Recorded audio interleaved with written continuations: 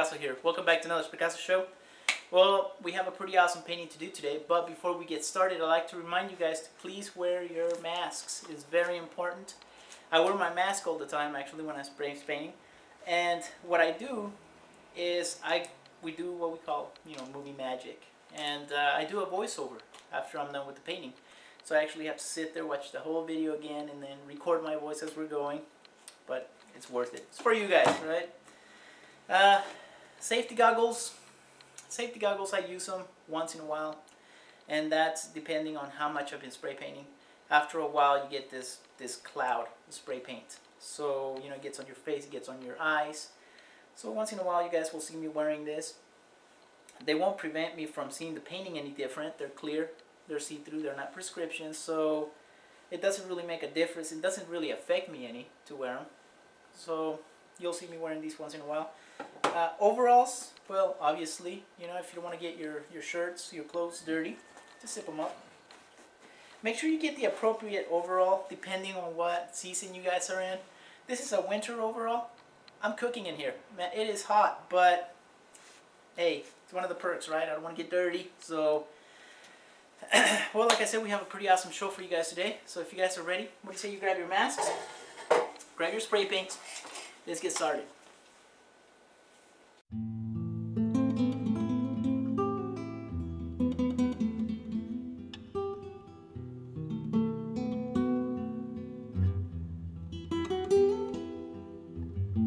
Alright guys, so let's start on our sky layer.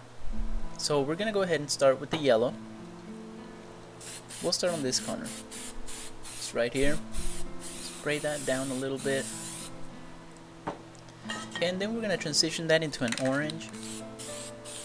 So we'll put our orange down right on top of that yellow, very lightly, just so you can still see the yellow. And a little bit of red. Nice. Okay, now you want to blend that in. Make the transition effect. We're going to use brown here at the bottom. Just a little bit of brown. This can be either our terrain in the background or plant life in the background. I'm going to go ahead and transition that brown into a darker color, which is black. So there you go guys. Let's work on that sky a little bit more. Let's add a little bit more brown. Maybe a little bit more red, just so you can see the transition better. Little bit of orange. Orange is a great color to combine other colors. Makes a great transition. And our yellow once again. Okay. Now let's concentrate on making the trees in the background. The way I'm going to do that is I'm going to take another piece of magazine. It's going to tear off a piece. And I'm going to mix a little bit of yellow and orange. Alright, I'm to put that on the side. I'm going to use the Spraycasso tool on this one. So I'm going to not only scratch and combine the paints, but as you can see here, I'm going to add some new paints to it, to the mixture. I want the trees to really stand out. So, that's how you make it. Just tap and add tree. Just like so. And then, so this is what you should have. So then we're to go over it and we're to scratch at the same time kind of make the, the bark effect. And the way we do that is we're just gonna move up and down. See, just like so. And see, that gives you a nice little mixture of all the colors. We're gonna do the same thing to the other one. Just gonna mix the colors together. And so see, you see a little bit of the white in the background but not too much. Okay, we went ahead and did that throughout our, our painting. and then we're just gonna add some some tree leaves using the same colors and it doesn't take too much just a little bit of spray paint and just a few dabs. See that? You don't need you don't need to make it really bright. Just like so.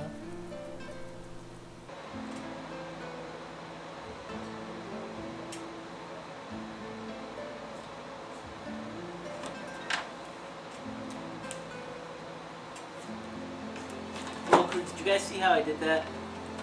Just by scratching off and mixing the paint at the same time. You don't want to make your trees too white. Uh, that's why it's important to add the background first. Um, kind of mix the colors a little bit so our trees have some of those highlights, uh, the yellow and the orange, and some of that red highlights in there.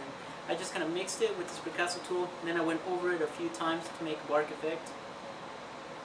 Um, on the tree leaves, we're just going to go ahead and, and tap very lightly throughout there just to make them very, uh, make them vanish into the background. So you don't have to actually sit there and, and paint every leaf. We'll make it blend into the background. Alright, let's continue, huh? What do you say?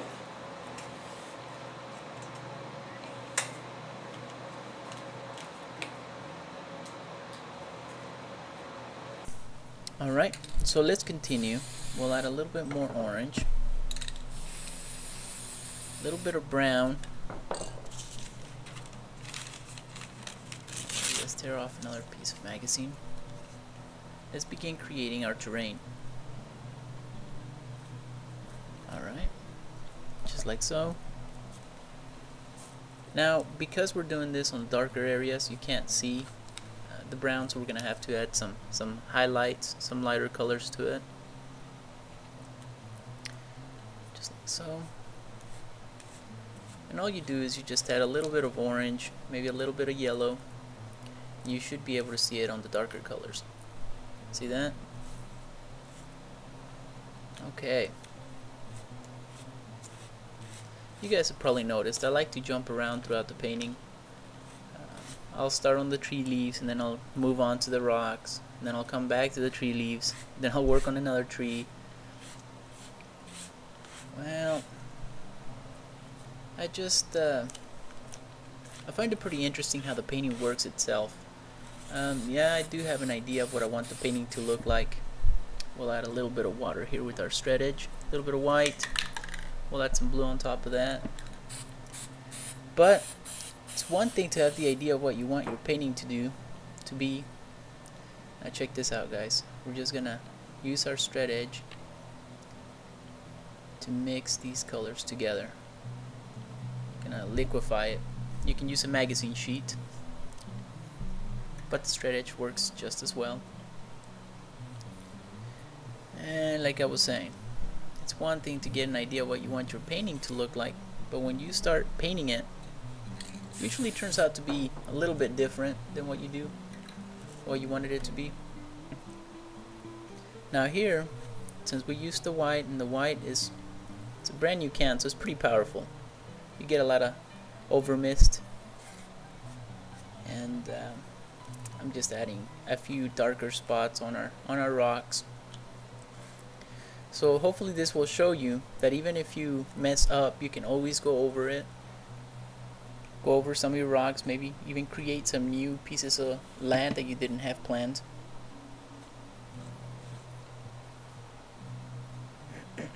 I was gonna make a tutorial that showed, you know, some some typical errors where uh, people would mess up and how to fix them. And I think this one would be a pretty good one. As I, I'm gonna go ahead and create another rock right here. As you guys saw how I created a piece of land and I used the white and by accident it covered made it wider made the piece of land wider so I'm showing you guys how I fixed it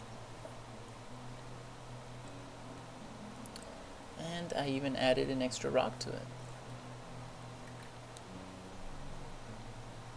nice Look at that alright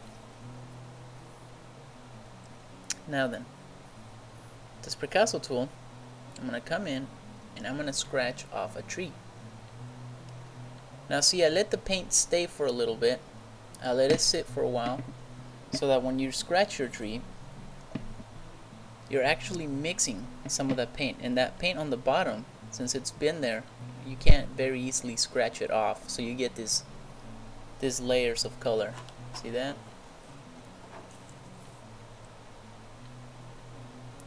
Okay, we're gonna go ahead and scratch off another tree right here. And this one will be a broken tree, so it'll show some time on your painting. Okay. Go ahead and scratch off another one. Just go up and down. Like so. Now, we could make this painting an advanced level painting just by adding more detail onto the tree, shadows. but I want to show you guys this technique of how to create a tree with its colors. And all you're using is Spraycasso tool. Alright, so then we're going to come over here.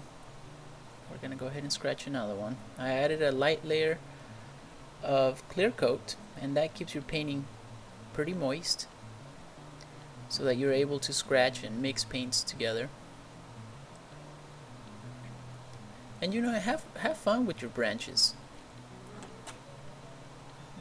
Making them quite random. We'll add, yeah, we'll add another one right here.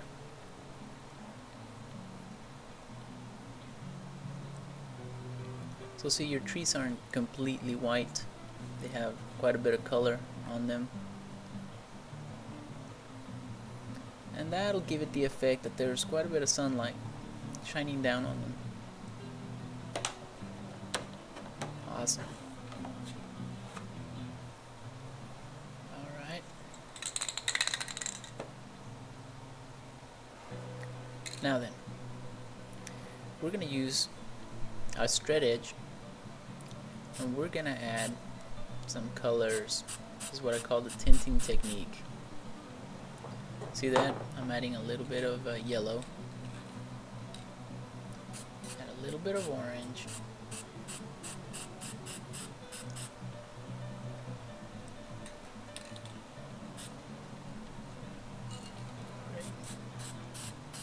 Little bit of red.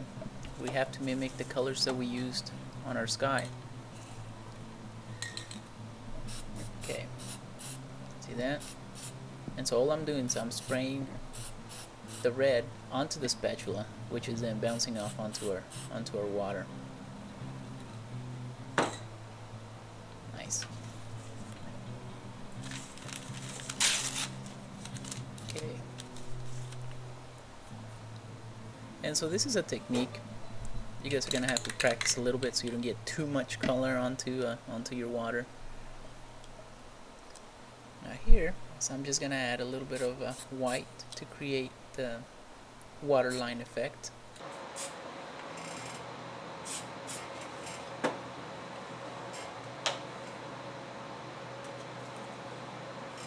Now, you guys have seen me use this technique quite a bit. I call it the tinting technique. And I'm just going over over the water, the, our very detailed water, with uh, some colors that we used on the sky. So I am using the, the yellow, the orange, the red, I won't use the brown, but I'll just use the orange, the red, and the yellow. Now we already have some blue in the water. Obviously water is blue in most cases. So we're going to go ahead and leave the blue there and it'll make a nice transition. It will make the effect uh, of light being reflected off this water. Now I call it the tinting technique because when I thought about it, I thought about it like tinting water. You guys have had those uh, food coloring, you know, you tint the water? Well, that's where that came from. Um, use this technique, it'll make your water more realistic as it will also reflect colors from up above, from your, from your sky. And uh, as we go on through the show, I'll show you more techniques to create even a, a transparent water effect. Alright, let's continue. Alright, so now we've tinted the water. We've added a little bit of uh, water lines to our rocks. So now I'm mixing a little bit of purple and white. And this will be just some, some plant life in the background. So we'll add a little bit right here. Maybe we'll add a few back here. And here I'm just using my sea foam. I find sea foam to be quite useful as it is quite random. Uh, I've used some uh, synthetic sponges before, but they have a pattern to them. Um, I guess the machine that makes them, I, I really don't know how they make them, but they have quite a bit of a pattern. So I like to use the sea sponge. They're a little more expensive. Uh, they're natural, but they give you that really um, random effect that you're looking for on, on your plant life, on your trees, on bushes. See that? So I highly recommend it guys. And so we're gonna do the same effect that we did with the tree leaves. We're gonna add some random spots here in the background, just kind of making the plant fade into the background. So it gives you the effect that there's more back there. But the light is overpowering it and it just kind of fades into it. I'm gonna add a little bit of black and this will make my colors a little darker uh, the purple that we had underneath there and this is gonna give us well just darker spots on our on our bushes that we're making here.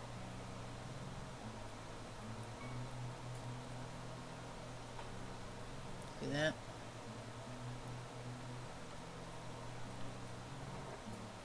Yeah. Nice. We're gonna do that throughout our painting just so we can have some high some highlights and some darker spots as well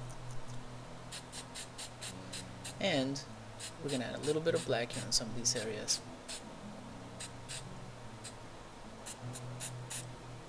Just like so. We're gonna go over it. Just a few touches. See how we created this uh, this bush? It has highlights. It's got a little bit of everything in it. You can always come in here and just add some twigs scratching some of the paint. Just like so. Let me show you. So we come in we'll add a little twig. Maybe there's a little branch here too. Just like so. We'll add a little bit right there. And one down here. It's up to you guys. But see it's the small details that make your painting very realistic so take the time if you guys aren't spray painting live you know go ahead and take the time to add the smaller details with time you guys will become a lot faster at it here very gently I'm adding a few sprays of white creating the light effect. Just like that. See that? Okay. Well, we want to give the effect that there's light passing through um, tree leaves. That there's objects in the way. Even some trees. So we're just going to make some random lights as well.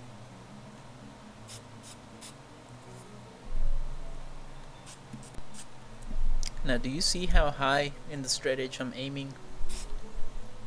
Pretty high up there, huh? That way just a very uh, gentle mist would hit the, the spray paint. The closer you get to the to the bottom, the stronger the light will be, the brighter. Nice. Alright. I'm gonna create the light source.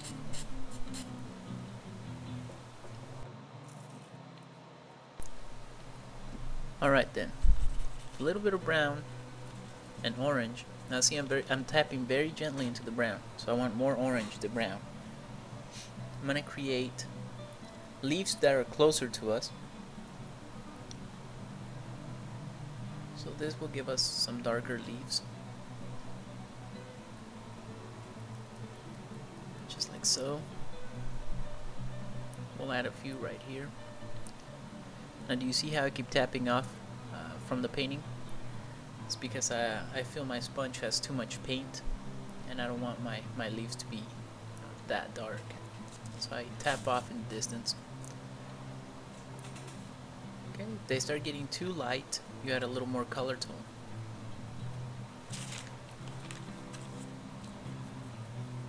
Okay, just like so.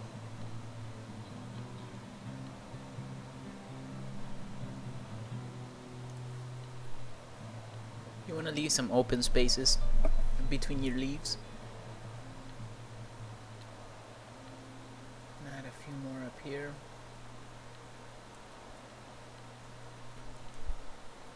Nice. And then afterwards we'll add some highlights to our to our leaves. So we'll add a little bit of yellow and a little bit of white.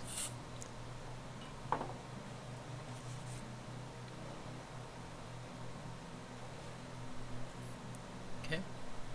Tear off a piece of your sea sponge. And I'm just gonna add some some random spots here. So yellow and white gives us this this really bright yellow.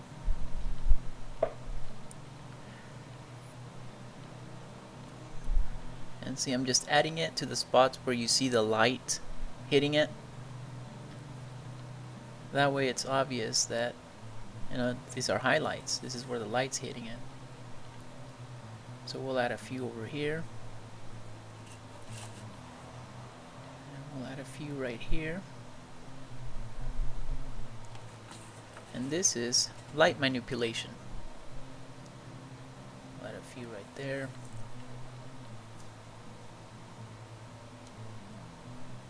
Maybe even a few right here. See how easy it is? Just at a few spots here and there where the light is hitting it. and that'll make it quite evident. Nice. Alright, now with a little bit of blue and white here on the bottom. See that? I'm just using my straight edge. I'm going to come down and create the waterfall. Now I'm just tinting the water there as well. Using a little bit of red orange. Some of the colors that we used above. And that's how you make a waterfall. This is just another technique. I'm trying to show you all the different ways of creating um, you know different textures, terrains, waterfalls. That way you guys can see which one fits you better. Now here I'm tinting the water on the bottom as well. A little bit of orange. I'm to add some red afterwards. So.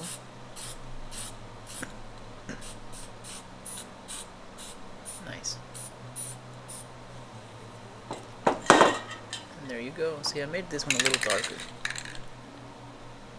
Now let's go ahead and add the splash from our waterfall.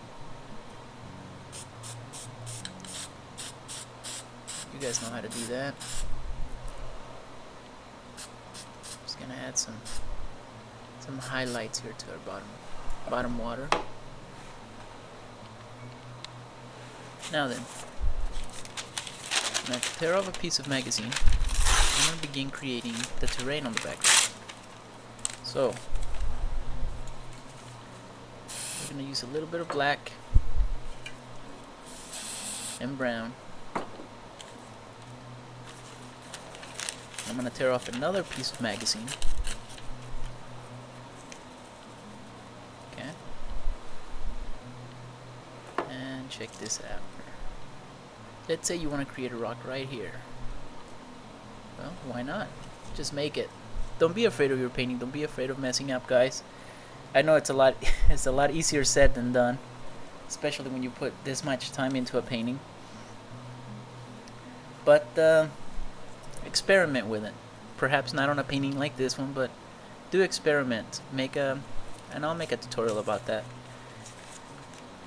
Maybe just uh, you know a simple painting and just add stuff to it so you know how it works, how you can add stuff.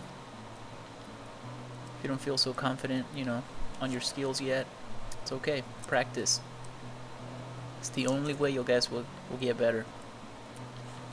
So I went ahead, and added a little rock to it. okay.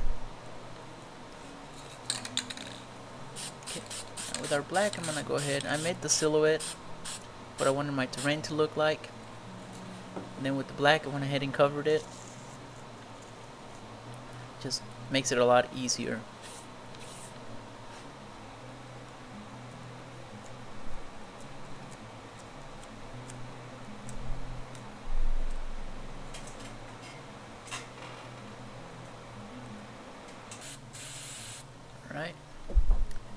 Now here I'm just gonna add some some green right?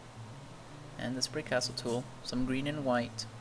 I'm just gonna create some some plant life you know just a few little strands of grass. And it's important that you get some of that white at the tip. You see that? That way you'll get darker color on the bottom which is green.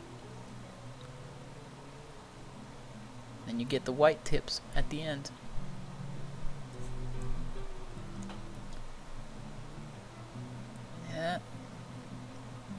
just make them random throughout your painting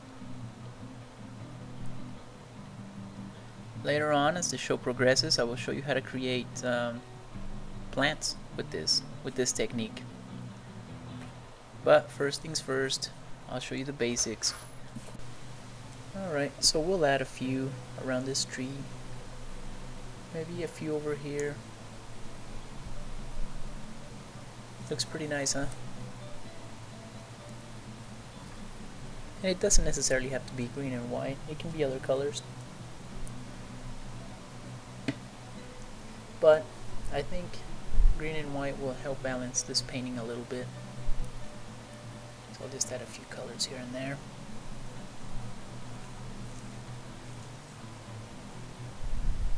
A one here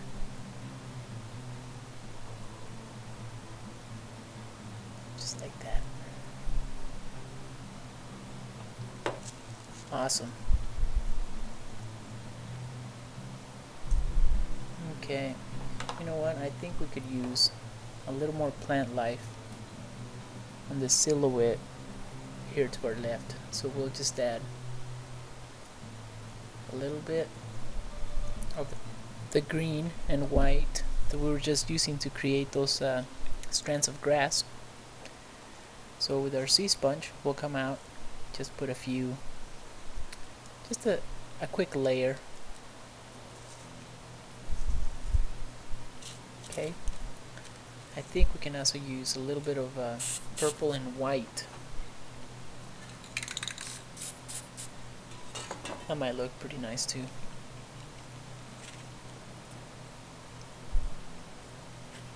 So we'll add a just a quick layer of that too. Just like so. A little bit here and there. Nice. You know what else though I think I'd like to add with our Spraycasso funnel maybe a silhouette layer of of a tree branch maybe a tree trunk just kind of broken down right through here into the water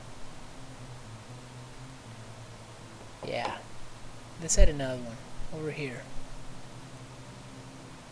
now we gotta go back into it add some more detail to our tree trunks so we'll just go through and add a few extra branches as you guys can tell I'm a really good ventriloquist. Just clean this Picasso funnel over here. Make sure we keep our area clean. Throw away any pieces of magazine we don't need sticking to our hands or anything like that.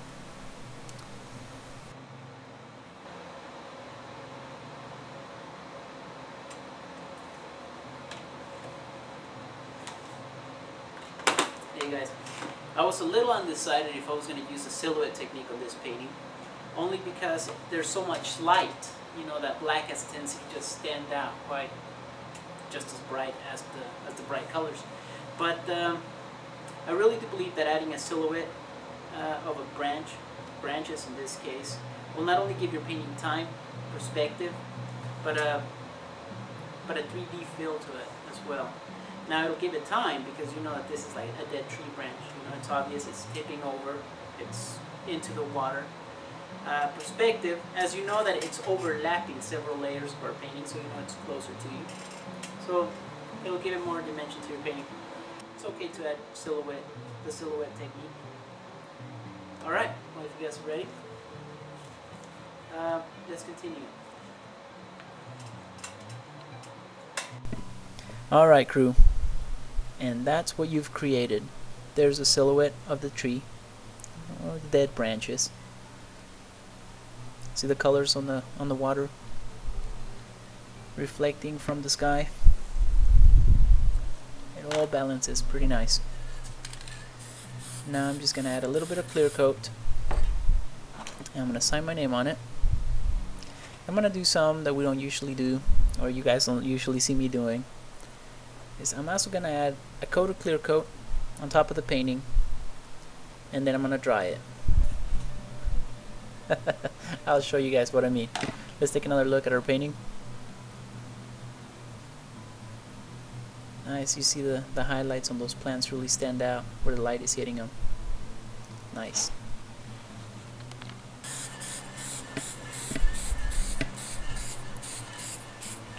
Alright, be very careful when performing this technique guys. Try and be about 6 inches away from your painting. Until next time folks.